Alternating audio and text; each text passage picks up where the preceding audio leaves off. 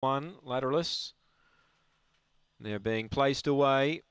McQueen's Tavern starting the quaddy here on UBet. Just over 1300 in that pool.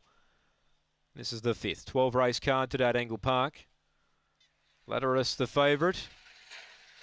And they're ready to run racing. Lateralis began well, gets rooms, pressured by Diamond Model now though. Lateralis back to third, Slippers Kin goes to second. Lateralis raking ground the rail.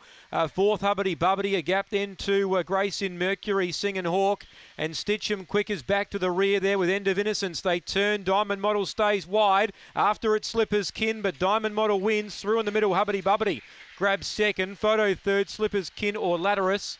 Uh, the favourite. Then came Singing Hawk.